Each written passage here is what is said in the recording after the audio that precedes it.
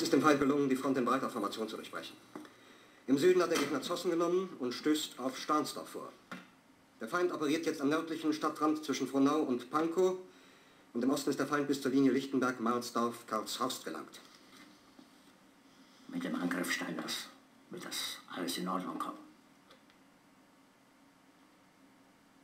Mein Führer, Steiner... Steiner konnte nicht genügend Kräfte für einen Angriff massieren. Der Angriff Steiner ist nicht erfolgt.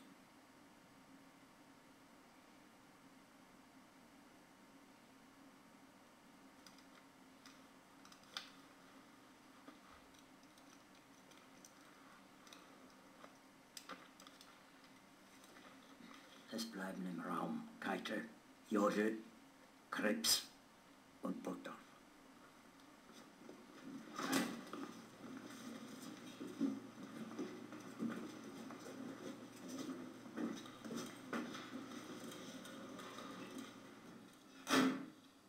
Das war ein Befehl! Der Angriff Steiners war ein Befehl! Wer schickt Sie? Dass Sie es wagen, sich meinen Befehl zu widersetzen! So weit ist das also gekommen. Das Militär hat mich belogen! Jeder hat mich belogen, sogar die SS! Die gesamte Generalität ist nichts weiter als ein Haufen niederträchtiger, treuloser Feiglinge! Mein Führer, ich kann nicht zulassen, dass die Soldaten, die für Sie verbrechen... Nicht als Feiglinge! Verreiter, Versager! Mein Führer, was Sie da sagen, ist ungeheuerlich. Die Generalität ist das Geschmolz des deutschen Volkes. Sie ist ohne Ehre. Sie nennen sich Generale, weil sie Jahre auf Militärakademien zugebracht haben, nur um zu lernen, wie man Messer und Gabel hält. Jahrelang hat das Militär meine Aktionen nur behindert. Es hat mir jeden nur ersichtlichen Widerstand in den Weg gelegt.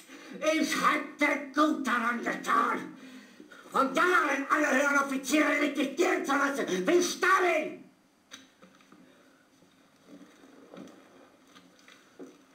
Ich war nie auf einer Akademie. Und doch habe ich allein, allein auf mich gestellt, ganz Europa erobert. Verräter!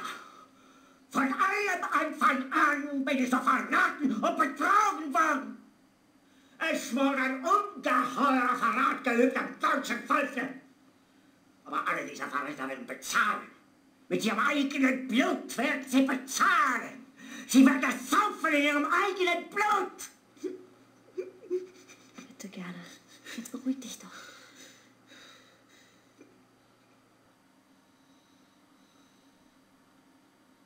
Meine Befehle sind in den Wind gesprochen. Es ist unmöglich, unter diesen Umständen zu führen. Es ist aus.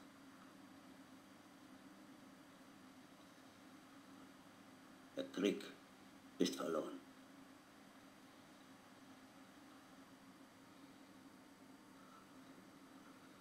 Aber wenn Sie, meine Herren, glauben, dass ich deswegen Berlin verlasse, irren Sie sich gewaltig.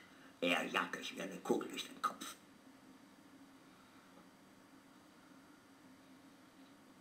für uns übers Überall.